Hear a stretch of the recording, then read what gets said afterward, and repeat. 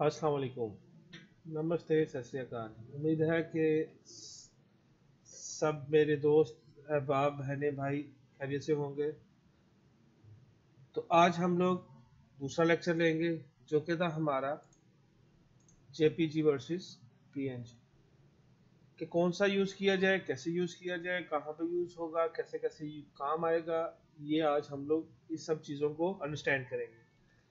ना कि इसको हम लोग बैकग्राउंड को रिमूव करना भी सीखेंगे। इसके अलावा आज का हमारा जो लेक्चर है, वो बहुत ही ज़्यादा इंटरेस्टिंग होने वाला है, क्योंकि आज हम लोग देखेंगे कि ये हमारा जो टूल है, जिसके ऊपर हम लोग अब काम कर रहे हैं, ये वर्क कैसे करता है। इसके ऊपर हम लोग कैसे कैसे चीज़ें समझेंगे, और आज से ऑनवर्ड हमारा काम स्टार्ट हो जाएगा। तो देखते हैं कि देखो कि अगर आप देखते हो कि जेपीजी फ़ाइल क्या है जेपीजी फ़ाइल में एक तो फ़ाइल साइज़ स्मॉलर होता है, फास्टर है, ठीक है? वो क्लियर नहीं है, ट्रांसपेरेंट नहीं हो सकता।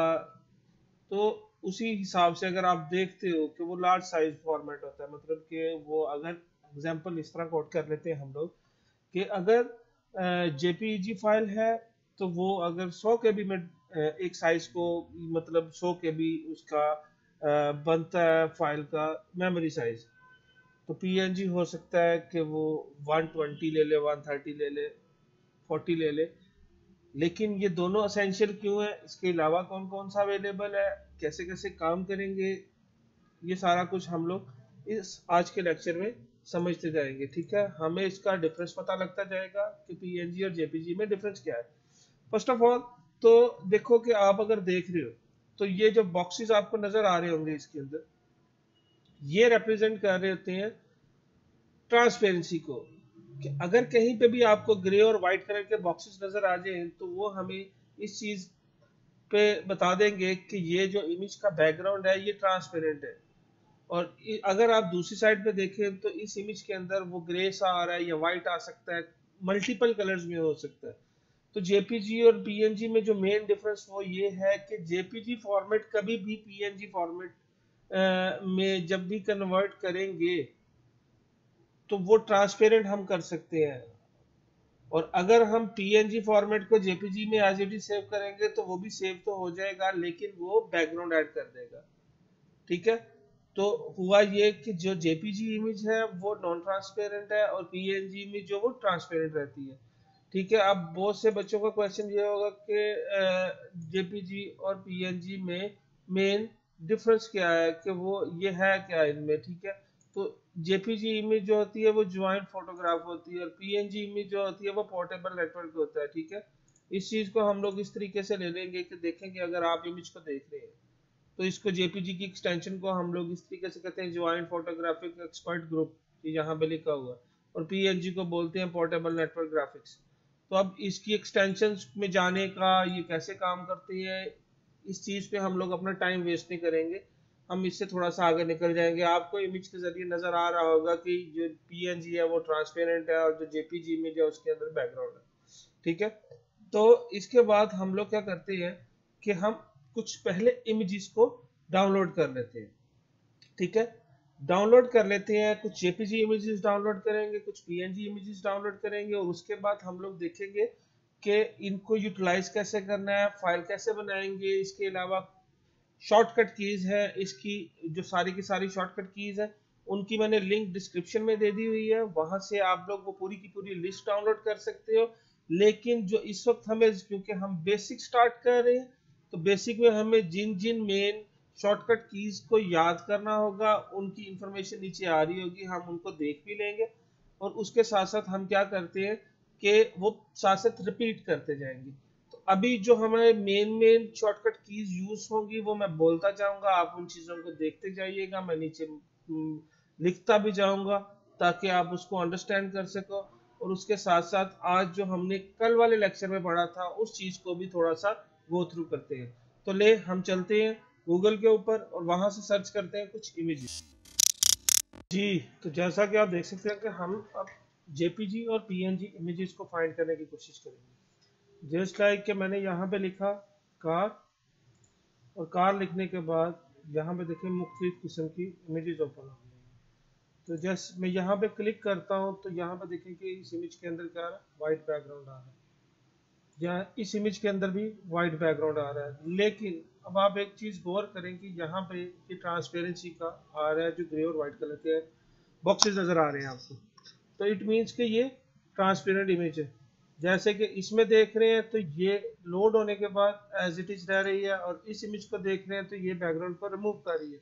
तो अगर मैं इस पर राइट क्लिक करके सेव करता हूँ इमेज को तो हमें यहाँ पे क्या होगा कि मैं डेस्कटॉप पे जब इसको सेव करने लगा हूँ तो हम देखते हैं कि ये इमेज यहाँ पे हमें फॉर्मेट शो करवा रही है पीएनजी तो जस्ट लाइक दैट कि मैं यहाँ पे इसको सेव कर लेता हूँ। इस इमेज के ऊपर राइट क्लिक करके इसको सेव करने की कोशिश करता हूँ। तो देखिए, ये यहाँ पे आने लग पड़ी जेपीजी इमेज तो मैंने इसको भी सेव कर लिया इसी तरीके से चलते जाएँगे। इस इमेज को चेक करते हैं तो देखें लोड होने के बाद ये क्या है कि वो एक तो ब्लर आ रही है। क्योंकि हम स्टार्ट में बैकग्राउंड को रिमूव करना सीखेंगे पी क्या है, उनको चेक करना सीखेंगे। तो उसमें हमें सारे का सारा क्लियर हो जाएगा कि क्या हुआ। आप देखें कि यहाँ पे या मैं कोई भी इमेज उठा लेता हूँ जस्ट लाइक दैट इस इमेज को भी सेव कर लेंगे। तो आपको यहाँ पे अब एक जो ये चीज़ मैं आपको चाह रहा था बताना कि वो ये है कि यहाँ पे अब फॉर्मेट आ रहा है वेब पी फ़ाइल ठीक है? और इसको भी सेव कर लेते हैं ताकि हमें डिफरेंस पता लग जाए। इसके अलावा मैं कोई एक दो कार्ड और देखता हूँ। देखें यहाँ पे बैकग्राउंड वाइट आ रहा है इस इमेज में। लेकिन जब मैं इसको सेव क्लिक करता हूँ तो ये ट्रांसपेरेंट कर रहा है। और अगर मैं इस फ़ाइल को सेव कर लूँ तो देखिए यहाँ पे क्या आने लग पड़ा पी फॉर्मेट तो इसका मतलब कि पीएनजी फॉर्मेट अब इस पर क्लिक करके देखते हैं तो ये कौन सा बैकग्राउंड है? वाइट या इसको देख लेते हैं, या कोई और इमेज उठा लेते हैं, कि मैंने इस इमेज को भी सेव कर लेता हूँ तो देखो ये कौन सी आ गई? जेपीजी फ़ाइल तो अब हमें समझ आ गया कि जेपीजी और पीएनजी फाइल्स को कैसे डाउनलोड करना है। अगर जस्ट मैं कार के आगे लिख देता पीएनजी और देन मैं क्लिक करता तो देखें यहाँ पे मुख्तलिफ़ इमेजेस शो होने लग पड़ी है हमें।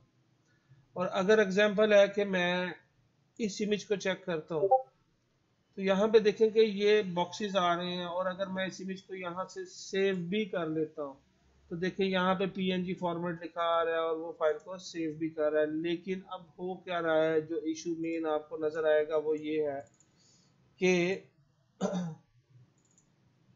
जैसे कि हमने ये फ़ाइल सेव की। अब बाकी जो पीएनजी फॉर्मेट है, वो प्रॉपर नज़र आ रहे हैं हम। लेकिन जो यहाँ पे ये पीएनजी सेव हुई एग्जांपल है, मैं इस पर क्लिक करता हूँ तो हमें ये ट्रांसपेरेंट इमेज नज़र आनी चाहिए। देखें ट्रांसपेरेंट इमेज अगर मैं किसी और के अंदर ओपन करता हूँ इस फ़ाइल को, जैसे कि फ़ोटोज़ में तो देखिए बैकग्राउंड ऑटोमेटिकली ब्लैक हो गया। लेकिन इससे आगे हम चलते हैं तो देखें यहाँ पे ये क्यों नहीं पीएनजी क्रिएट हुआ, ये भी पीएनजी में। तो अब हमें इश्यू समझ आ गया कि हम क्या करेंगे कि ये वाली इमेज तो फिर हमें फेक दे रहे हैं ये शख्स। तो ये फेक नहीं दे रहे हैं, हमें करना क्या है कि हम क्लिक करेंगे, हम उस वेबसाइट के अंदर चले जाएँगे और यहाँ से हम वो अपनी इमेज को फाइंड करेंगे। तो जस्ट लाइक दैट वो हमें यहाँ पे इमेज मिल रही है जो कि हमने ये वाली देखी थी। तो मैं यहाँ पे क्लिक करता हूँ तो वो हमें जो वेबसाइट है वो ओपन करके दे रही है कि यहाँ से आप पीएनजी इमेज को सेव करें। तो मैंने राइट क्लिक किया, वो हमसे वेरीफाई करेगा आर यू ह्यूमन और नॉट तो हम उस चीज़ को क्लिक करके और आफ्टर दैट हम क्या करेंगे? इस इमेज को सेव कर लेंगे। तो क्या हुआ? इमेज डाउनलोड होने लग पड़ी। तो अगर डाउनलोड होने लग पड़ी है तो अब मैं क्या करता हूँ? इस इमेज को उस डाउनलोड वाले एरिया से उठाता हूँ और उठा के मैं इस इमेज को अपने उसी फोल्डर के अंदर रख लेता हूँ, ठीक है? तो मैंने क्या किया? इस इमेज को इधर रखा। तो देखिए एज यू कैन सी अब वो वाली इमेज जो है, वो पीएनजी फॉर्मेट में भी हमारे पास आ गया है। जैसे कि मैंने इधर क्लिक किया था तो क्या आ रहे थे? बॉक्सेस शो हो रहे थे, और साइज़ छोटा था। अब इधर क्लिक करेंगे तो देखिए, वही इमेज आ गई है, लेकिन क्या है? बैकग्राउंड ट्रांसपेरेंट आ रहा है। तो इससे हमें ये पता लग गया कि हमने अगर इस तरह की कोई चीज़ नज़र आती है हमें तो वो क्या कह रहे हैं कि आप वेबसाइट के अंदर जाएँ और वहाँ से डाउनलोड करें। तो आपको पीएनजी फॉर्मेट यहाँ से बना बनाया में मिल जाएगा, लेकिन हम तो सीख रहे हैं कि हम किस तरह पीएनजी क्रिएट करें। जैसे कि अब ये रेड कार आ रही है तो क्लिक करने पे क्या आएगा? लोड होने के बाद ट्रांसपेरेंट तो इसका क्या मतलब है कि ये इमेज भी हमें पीएनजी कुछ पीएनजी हमें एज इट इज़ यहाँ से मिल जाएँगी कुछ हमें क्रिएट करनी पड़ेंगी। इसी तरीके से हम बात कर रहे थे वेब पी फॉर्मेट की, जिस तरह के ये इमेज आ रही थी, जिसके ऊपर हम राइट क्लिक करें प्रॉपर्टीज़ में जाएँ तो हमें वो बता रही है वेब पी फॉर्मेट इसको एग्जांपल है कि मैं अपने फोटोशॉप के अंदर या कहीं पे भी ओपन करने की कोशिश करता हूँ तो वो क्या है वेब पी फॉर्मेट आप नहीं ऐड कर सकते हो इसमें। तो इससे हम क्या करेंगे, इसका सबसे आसान तरीका ये है कि आप राइट क्लिक करो पेंट में जाओ ओपन विद पेंट करो। फ़ाइल को ओपन करने के बाद इसको यहाँ से save as JPG format save कर लो तो जिस जगह पे आपने उस चीज़ को बनाया होगा, आप वहाँ पे जेपीजी फॉर्मेट सेव कर दोगे तो वो ट्रांसपेरेंसी का दे रहा था कि आप उसकी ट्रांसपेरेंसी लूज हो जाएगी। तो इस वक्त हमें फ़र्क नहीं पड़ता ट्रांसपेरेंट हो या ना हो, क्योंकि हम लोगों ने इसको ट्रांसपेरेंट बनाना खुद सीखना है।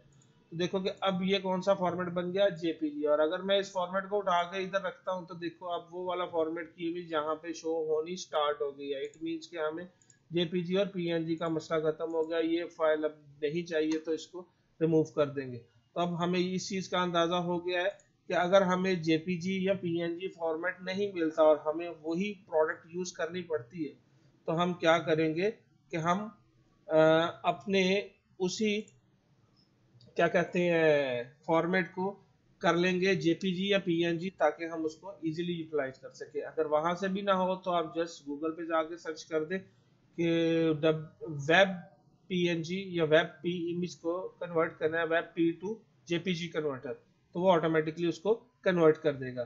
तो ये चीज़ तो हमारी हो गई कंप्लीट अब हम देखते हैं इससे आगे कि क्या करें तो जैसा कि हमने सारे का सारा कुछ डाउनलोड कर लिया है अपने इस फोल्डर के अंदर। तो अब हम लोग चलते हैं आगे कि हमने अपनी फ़ाइल कैसे क्रिएट करनी है, जो लास्ट लेक्चर लिया था वो क्या था, कैसे काम किया था, ये सारा कुछ देखते हैं और इनको यूटिलाइज करने की कोशिश करते हैं। तो देखो कि सबसे पहले हमारे पास यहाँ पे जब भी हम फोटोशॉप ओपन करेंगे तो हमारे पास इस तरीके से ये एक स्क्रीन नज़र आने लग पड़ेगी। तो इसमें हम लोगों ने जो फ़र्स्ट ऑफ़ ऑल जो सबसे पहली शॉर्टकट की है, वो है कंट्रोल एन हम उसको कंट्रोल एन कर सकते हैं। या यहाँ पे ये देखें क्रिएट न्यू लिखा हुआ है, इसको दबा दें कंट्रोल एन कर दें आप। तब भी या हम यहाँ से फ़ाइल में जाके न्यू पे क्लिक करते हैं तो देखो यहाँ पे शॉर्टकट की साथ साथ लिखी नज़र भी आ रही है। तो हमने न्यू कर दिया। अब हो ये रहा है कि ये जो इतना हिस्सा ये आपका जो रिसेंट आर्टबोर्ड हमने बनाए होंगे या कुछ सेव किए होंगे या आर्ट इलस्ट्रेशन ये बाय डिफ़ॉल्ट कुछ साइजेस उन्होंने हमें दे दिए। तो क्योंकि हमें साइजेस ये है कि कोई भी आ सकता है तो वो हम लोग साथ साथ देखते जाएँगे। क्योंकि हर चीज़ कोई हो सकता है कि फेसबुक का कवर बन रहा है या हमारी कोई इंस्टाग्राम की पोस्ट बन रही है या स्टोरी बन रही है या कोई बैनर बना रही है तो डिपेंड वेरी कर सकता है। तो हम उसके अकॉर्डिंगली देखते जाएँगे। तो देखें कि ये जो एरिया इतना आ रहा है हमें, ये हमारा असेंशियल एरिया यहाँ पे हम लोग नेम दे देंगे, हम लोग नेम दे देते हैं टेस्ट का। और इसके साथ देखें कि आपको नीचे वाइड आ रही है और हाइट आ रही है। एक्स एक्सिस और वाई एक्सिस दोनों आ रही है। यहाँ पे हमारे पास मुख्तलिफ़ इसकी एक्सटेंशन आ रही है। तो जैसा कि हमने पीछे पढ़ा था कि हम लोग डिजिटल में जब काम कर रहे होंगे तो वो पिक्सल बेस्ड काम होता है तो हम लोग इसमें पिक्सल को सिलेक्ट कर लेंगे। तो हमने पिक्सल को सिलेक्ट किया। यहाँ पे एग्ज़ाम्पल है कि हम लोग यूट्यूब की वीडियो बना रहे हैं और उसका हम लोग कहते हैं कि एच रिज़ल्ट हो तो हमने एक साइज़ रख लिया 1920 पिक्सल वाइड और हाइट रख ली हमने 1080 तो अब जैसा कि 1920 और टेन एटी पी आ गया तो ओरिएंटेशन उसने उसके अकॉर्डिंगली दे दिया। अगर मैं इस पे देखो कि यहाँ पे स्विच करूँगा तो ये ऊपर नीचे वाली वेरी कर जाएँगे। देखो, अब 1080 ऊपर चला गया 1920 नीचे आ गया। तो ओरिएंटेशन हम जो यहाँ पे ग्लो करेगी, वो हमें बता देगी कि इस ओरिएंटेशन के अकॉर्डिंगली आपका जो सॉरी आर्ट बोर्ड है, वो बन रहा है। तो आर्ट बोर्ड कैनवस कुछ भी आप कह सकते हैं, वो क्या है कि जिस एरिया के अंदर हम लोग काम करेंगे। तो यहाँ पे आर्ट बोर्ड्स भी लिखा आ रहा है। आर्ट बोर्ड्स बेसिकली क्या है कि हम एक से ज़्यादा आर्ट बोर्ड्स हैं, जिस तरह हम लोग एग्ज़ाम्स में बैठते हैं तो हमें वो एक पेपर दे देता है। तो वो जो शीट है या पेपर है जिसके ऊपर हम लोग लिखेंगे, वो हमारा हम उसको आर्ट बोर्ड कह लेते हैं, या कैनवस कह लेते हैं। तो वो एक पेपर के अलावा हमें दस पेपर भी दे सकता है। तो यहाँ से हम लोग वो बना सकते हैं। लेकिन इसमें हम लोग क्या करेंगे, इसको अनचेक रहने देंगे। अब रेजोल्यूशन आ गया, जैसा कि हमने पीछे पढ़ा था कि रेजोल्यूशन वेरी कर सकता है। कि जैसे कि लो रेज में हम बात कर लेते हैं कि 72 पिक्सल है या 96 पिक्सल है। तो ये आ जाता है हमारा लो क्वालिटी या एवरेज क्वालिटी जिसमें हम लोग देख रहे होते हैं इमेज को बस नॉर्मल है, उसकी क्वालिटी इतनी ज़्यादा अच्छी नहीं हो सकती, बस स्टैंडर्ड क्वालिटी जिसको बोल सकते हैं। इसी तरीके से हमारे पास आ जाता है 150 रेजोल्यूशन तो वो क्या होगा कि जब 150 पिक्सल एक इंच के अंदर होंगे तो हमें वो क्वालिटी डबल दे रहा है।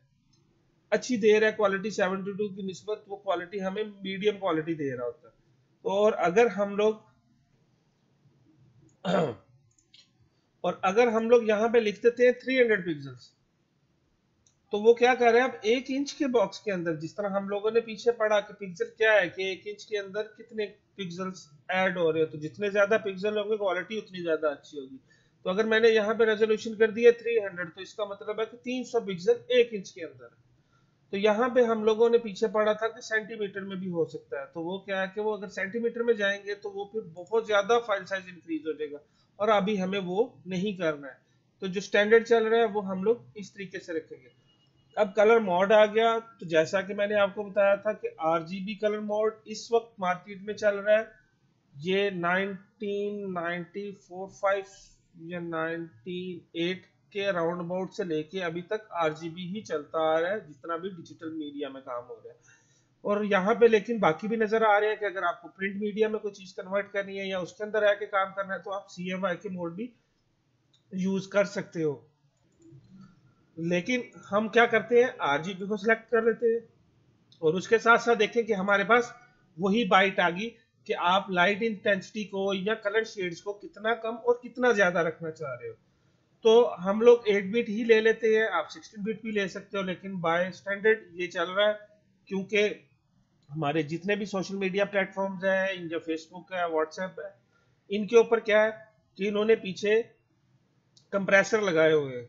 वो क्या करते हैं कि हमने फ़ाइल अपलोड की, उस इमेज को उसने ऑटोमेटिकली कंप्रेस कर देना और उसने उसकी क्वालिटी को थोड़ा सा कम कर देना है ताकि उनके सर्वर के ऊपर लोड ज़्यादा ना पड़े, कि हमने अगर दो MB की या पाँच एमबी की इमेज उसके ऊपर अपलोड की है तो वो उसको कंप्रेस करके 600, 500, 800 के बी में कर देता है। जब वो कंप्रेस करेगा तो क्या होगा इमेज की क्वालिटी कम हो जाएगी। तो उसके बाद आ गया हमारा कंटेंट या वो जो आर्टबोर्ड या कैनवस है वो किस कलर का हो? यहाँ पे मुख्तलिफ़ लिखे भी हुए हैं ट्रांसपेरेंट बैकग्राउंड ब्लैक यहाँ से आप मल्टीपल कोई भी कलर चूज़ कर सकते हो। इसका कोई इतना इशू नहीं है कि क्या है, कैसे है, ये हम कभी भी हम ट्रांसपेरेंट करना चाहे या किसी भी कलर में करना चाहे, वो हम लोग कर सकते हैं। इस वजह से इसकी परेशानी नहीं लेनी एडवांस आ रहा होगा, ये क्या है, अब एडवांस चीज़ों को अभी नहीं पढ़ेंगे। ये हमें थोड़ा सा कंफ्यूज कर देंगे। इस वजह से एडवांस में आपने डॉट कलर मैनेज और स्पेयर पिक्सल्स यही सेलेक्ट करके जस्ट क्रिएट कर देना। तो जब हमने एक फ़ाइल क्रिएट कर ली तो हमारे पास ये वही लेआउट आ गया है जो जिसपे हम लोगों ने पहला लेक्चर लिया था। तो अब इस पे हम लोग काम कैसे करेंगे, इसको अंडरस्टैंड करते हैं। तो इसको अंडरस्टैंड करने की सबसे पहली जो चीज़ है, वो ये है कि यहाँ पे हमारे पास देखो कि एक एरिया आ रहा है जिसके अंदर लेयर्स पर लिखी हुई है। अब वो लेयर्स आ गई, इसके बाद हमारे पास ये प्रॉपर्टीज़ हैं, ये कलर है। यहाँ पे हमारे पास इस तरीके से टूल्स आ रहे होंगे। तो देखना, इस जगह को थोड़ा सा फोकस कीजिएगा कि जैसे मैं टूल शिफ्ट करता हूँ तो यहाँ पे हमारे उस टूल के रिलेटेड सारे की सारी प्रॉपर्टीज़ या उसके रिलेटेड फंक्शनैलिटी चेंज हो रही है। ठीक है? तो हमारा जो सबसे पहला टूल है, वो है मूव टूल अगर मैं यहाँ पे रखता हूँ तो देखो, उसकी शॉर्टकट की भी साथ लिखी आ रही है वी तो आज हम लोग इसको स्टडी करेंगे। और इसके साथ साथ मैं अब ये देखो कि मैंने इसको दबाया तो थोड़ा सा इसको शॉर्ट वर्जन कर दिया, ठीक है? और यहाँ पे हम क्या कर रहे हैं? असेंशियल यूज़ कर रहे हैं। तो ये हमें डिफरेंट मोड्स दिखा देता है कि आप किस तरीके से, कौन से टूल्स को किस तरीके से रिप्रेजेंट करना चाहते हैं। जैसे कि अब मैं ग्राफिक्स एंड वेब में चला जाऊँगा तो देखो टूल्स वो आ गए और यहाँ पे लेयर लेआउट भी चेंज हो गया। अब मैं थ्री में चला जाता हूँ तो देखो उसने, उसके अकॉर्डिंगली टूल्स थोड़े कर दिए। तो हम असेंशियल में चले जाएँगे और अपने वही टूल्स ले लेंगे जो हमें इस वक्त ज़रूरत है। ठीक है? तो हम मूव टूल पे गए और हम लोगों ने क्या किया है? यहाँ पे इस को यूज़ करना स्टार्ट कर देंगे। आप जस्ट कीबोर्ड से अगर एग्जांपल दे रहा हूँ कि मैं बी लिखता हूँ तो वो बी में चला गया। अब मैं वी लिखता हूँ तो मूव टूल में वापस आ गए तो मूव टूल में वापस आने के बाद हम लोग जो पहली चीज़ है, वो ये देखेंगे कि जो हम लोगों ने इमेजेस सेव की हुई हैं उनको यहाँ पे कैसे लाया जाए? तो उसको लाने का एक तरीका ये है कि फ़ाइल में जाके ओपन कर दें। या हम लोग जस्ट यहाँ पे जाएँ और यहाँ से अपना फोल्डर सेलेक्ट करें और सेलेक्ट करने के बाद आ, हम लोग यहाँ से इन इमेजेस को उठा लें। तो मैं क्या करूँगा? मैं दो से तीन इमेजेस उठा लूँगा। जैसे कि मैं एक ये रेड वाली ये ब्लू वाली और एक ये येलो वाली और एक ये चार इमेजेस उठा लेता हूँ it's more than enough for us तो मैंने ये चारों इमेजेस को पकड़ा और अगर मैं इन इमेजेस को उठा के यहाँ पे, इस साइड पे, ऊपर कहीं क्लिक करके छोड़ देता हूँ तो क्या होगा? डिफरेंट चार फाइलें ओपन हो जाएँगी। तो क्योंकि हमें ये डिफरेंट चार फाइलें नहीं चाहिए, एक ही फ़ाइल चाहिए, एक ही फ़ाइल के अंदर काम करना है तो हम क्या करेंगे? इनको खत्म कर देंगे यहाँ से। और क्या करेंगे कि हम इसके अंदर काम करेंगे। तो मैंने क्या किया, जस्ट यहाँ पे गया और यहाँ से ये चार की चार फाइलें जो हम लोग यूटिलाइज करने लगे थे, पकड़ी फोटोशॉप में गया और यहाँ पे क्लिक कर दूँगा। अब जैसे क्लिक किया, एक इमेज आ गई यहाँ पे, आप देखें। फिर दूसरी भी आ गई, तीसरी भी आ गई और चौथी भी आ गई। अब देखें कि चार फाइलें डिफरेंट आ गई हैं और ये चारों की चारों बहुत बड़ी फाइलें हैं। तो अब हम लोग क्या कर सकते हैं, इन फाइलों को थोड़ा थोड़ा छोटा कर लेंगे छोटा करने के लिए दूसरी जो हम लोग की है, वो कौन सी है? ट्रांसफॉर्मेशन। ठीक है? फ्री ट्रांसफॉर्मेशन क्या लें, रीसाइज क्या लें तो उसके लिए हमें शॉर्टकट की कौन सी यूज़ करनी है? Control T T. यहाँ पे मैं लिख भी देता हूँ। टी। तो आप देख भी सकते हो कि मैंने यहाँ पे मेंशन भी कर दी है। और हम लोग ये भी लिख सकते हैं। मैं इसको थोड़ा सा बड़ा कर देता हूँ ताकि आप इसको देख सकें। तो जब मैं कंट्रोल टी कर लू, या अगर आपको कंट्रोल टी भूल जाए तो आप क्या कर सकते हो? देखो कि एडिट में जाओगे। एडिट में ये आपको यहाँ पे नज़र आ जाएगा फ्री ट्रांसफॉर्मेशन और उसके अंदर उसकी चाइल्ड कैटेगरीज भी आ जाएगी। तो मैं क्या करता हूँ? पहले इस इमेज को यूज़ करता हूँ, जो सबसे ऊपर है। देखो ये लेयर्स है मुख्तलिफ़, मैं जिसको क्लिक कर रहा हूँ पकड़ रहा हूँ।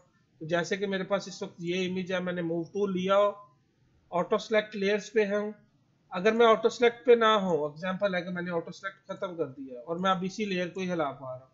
जबकि अगर ऑटो सेलेक्ट सेलेक्ट हो तो देखो इस वक्त मैं इस लेयर पे हूँ और अगर मैंने ये ब्लू पे क्लिक किया तो वो ब्लू वाली लेयर को पकड़ रहा है।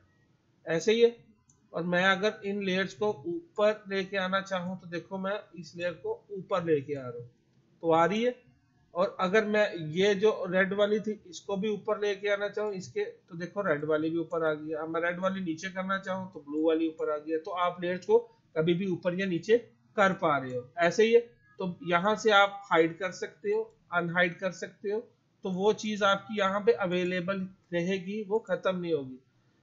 तो जैसे कि हम लोग इसका साइज़ छोटा करने लगे थे तो कंट्रोल टी किया मैंने। तो देखो, यहाँ पे मेरे पास एक क्रॉस बना आ गया और यहाँ पे मेरे पास, ये देखो, तीन एंकर पॉइंट इधर है, तीन इधर है, दो टॉप एंड बॉटम पे है। तो ये हमारे पास एंकर पॉइंट आ जाएँगे। और मैं क्या करूँगा कि यहाँ पे ये देखो कि इस तरीके से एक चेन के ऊपर क्लिक हुआ होगा। तो ये अगर मैं इस एंगल से या इस एंगल से पकड़ के छोटा कर रहा हूँ क्लिक करके तो क्या हो रहा है कि एक्स एक्सिस और वाई एक्सिस दोनों एक साथ छोटे हो रहे हैं। और अगर ये चेन क्लिक ना हो तो क्या होगा? एक्स एक्सिस वाई एक्सिस अपने अकॉर्डिंग टू नीड छोटे या बड़े हो रहे हैं। तो हम क्या करते हैं कि हम चेन को क्लिक रहने देते हैं और इसके ज़रिए हम छोटा या बड़ा कर रहे हैं। इस सिचुएशन में आप अचानक कुछ ना कुछ अपने हिसाब से करना चाह रहे हो और आप कहते हो कि मैं इसको अपने अकॉर्डिंग टू नीड सिर्फ़ एक्स एक्सिस को बढ़ाना चाह रहा हूँ या वाई एक्सिस को बढ़ाना चाह रहा हूँ। तो हम क्या करते हैं शिफ्ट का बटन दबा देते हैं। शिफ्ट दबाने से क्या होगा कि ड्यूरिंग हम इसको बड़ा छोटा कर रहे हैं तो वो एक्स एक्सिस और वाई एक्सिस को अपने अकॉर्डिंग टू नीड छोटा या बड़ा करने की इजाज़त दे देगा। और अगर जैसे हमने शिफ्ट छोड़ा तो वो एक्स एक्सिस वाई एक्सिस एक साथ काम करेगा। उसके बाद हम कर देंगे टिक तो ये हमारे पास फ़ाइल छोटी होगी। तो मैं इसको भी हाइड कर लेता हूँ। अब ये वाली इमेज रह गई है। तो देखो कि मुझे हर दफ़ा क्या होता है कि मैं इनको भी खोलता हूँ कि हर दफ़ा मुझे कंट्रोल टी करना पड़ रहा है, फाइलों को छोटा करने के लिए। तो यहाँ पे मूव टूल के अंदर ऑप्शन आ रहा है शो ट्रांसफॉर्म कंट्रोल्स तो अगर मैं शो ट्रांसफॉर्म कंट्रोल्स के ऊपर क्लिक कर देता हूँ तो देखो मेरे पास अब ट्रांसफॉर्म कंट्रोल्स नज़र तो आ रहे हैं, लेकिन वो एक्स नहीं बना हुआ। ऐसे ही है, जिस लेयर को पकड़ता हूँ वो पकड़ी तो जा रही है, लेकिन वो क्रॉस नहीं बना आया। वो तब तक एक्टिव नहीं होगा जब तक हम किसी भी इसके एंकर पॉइंट को क्लिक नहीं करते। अब क्लिक कर दिया तो एंकर पॉइंट सिलेक्ट हो गया। तो अब मैं इसको पकड़ के छोटा कर रहा हूँ तो देखो मैं पकड़ के इसको आगे पीछे कर रहा हूँ। अब ये तब तक खत्म नहीं होगा जब तक मैं यहाँ से टिक ना कर दूँ। जब टिक कर दिया तो देखो ये वाली फ़ाइल इधर आ गया मैंने इसको पकड़ा, इसको भी मैंने पकड़ के यहाँ से पकड़ा और इसको छोटा कर दिया। अब मुझे बार बार कंट्रोल टी करने की ज़रूरत नहीं होगी। तो देखो कि मैंने इन इमेजेस को पकड़ा और सब इमेजेस को यहाँ पे लगा दिया। अब चाहूँ तो देखो कि मैं चाह रहा हूँ कि ये वाली जो इमेज है, ये यहाँ पे ही रहे, बाकी की बाकी जो है मैं वो मूव कर सकूँ। तो उसके लिए हम लोग क्या करते हैं कि यहाँ पे, देखो कि मैंने अगर इन तीनों को पकड़ना है तो मैं शिफ्ट को दबा के इनके ऊपर क्लिक करूँगा तो देखो मैं तीनों को पकड़ पा रहा हूँ। ऐसे ही है। तो अब अगर मैं चाह रहा हूँ कि मैं इन दोनों को पकड़ू, मैं शिफ्ट दबा के इन दोनों को भी पकड़ सकता हूँ, या मैं ये देखता हूँ कि मेरी बैकग्राउंड लॉक है अगर तो वो लॉक है it means it's easy for me कि मैं इनको अपने अकॉर्डिंग टू नीड चला सकूँ। देखो, मैंने क्लिक किया माउस से और मैंने इस तरीके से देखो, एक सिलेक्शन बनी आ रही है। तो मैंने तीनों को पकड़ लिया। अब हो सकता है मैं इन दोनों को पकड़ना चाहूँ तो ये दोनों भी पकड़ी जा रही है। अगर ये बैकग्राउंड अनलॉक होती तो देखो कि पहले तो ये बैकग्राउंड ही मूव होती रहेगी। तो मुझे वो पकड़ने नहीं देगी। ठीक है? तो मैंने बैकग्राउंड को इसलिए यहाँ से लॉक कर दिया। जब चाहूँ मैं यहाँ से अनलॉक भी कर सकता हूँ लॉक भी कर सकता हूँ, यहाँ से भी अनलॉक लॉक कर सकता हूँ। ठीक है? अब जैसे कि मेरे पास ये ब्लू एरिया था और मैं इसको लॉक करना चाह रहा था, यहाँ पे तो मैं सिंपली गया और यहाँ पे लॉक कर दिया। तो वो देखो मेरी इमेज लॉक हो गई। अब मैं इन दोनों, तीनों को पकड़ना चाह रहा हूँ जस्ट दो मूव हो रही है, तीसरी मूव नहीं हो रही। तो इससे हमें ये भी साबित हो गया कि हमने अगर मूव करनी है तो कैसे करेंगे मूव नहीं करनी है तो कैसे करेंगे? ठीक है? तो आज देखो कि हमने ये समझ लिया कि हम इन लेआउट को कैसे करेंगे और क्या क्या होगा और किस तरीके से हम लोग यहाँ पे ऐड कर सकते हैं। तो आज का लेक्चर हम यहाँ पे ही क्लोज करते हैं, क्योंकि बहुत ज़्यादा लंबा हो रहा है।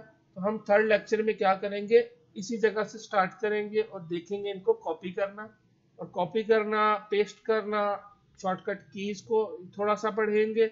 इसके बाद हम लोग क्या करेंगे? इमेज का बैकग्राउंड रिमूव करना सीखेंगे। तो thank you so much guys देखने के लिए। और जिन लोगों ने सब्सक्राइब नहीं किया, वो काइंडली सब्सक्राइब कर लें। लाइक कीजिए कमेंट कीजिए और बेल का आइकन लाजमी दबा दीजिए। और ज़्यादा से ज़्यादा सपोर्ट कीजिए। और जिन लोगों ने सब्सक्राइब किया, उसका मैं बहुत ज़्यादा शुक्रगुजार हूँ। बहुत बहुत शुक्रिया आप सबका। मुझे सपोर्ट करने के लिए इन वीडियोस को और ज़्यादा से ज़्यादा शेयर करें ताकि और लोगों का भी हेल्प मिल सके। तो जो कुछ हमने सीखा है, इसको आप लोग ट्राई करें और जो हमारा थर्ड लेक्चर होगा, उस लेक्चर से हम लोग क्या करेंगे कि ऑनवर्ड आपको मैं असाइनमेंट दिया करूँगा, जो वो आप असाइनमेंट मुझे ईमेल किया करोगे ताकि जिस दिन आपने जो बनाया, उसके अंदर अगर कोई इशू है, कोई मसला है तो हम एक दूसरे के साथ उसको कंप्लीट कर सके। तो थैंक यू सो मच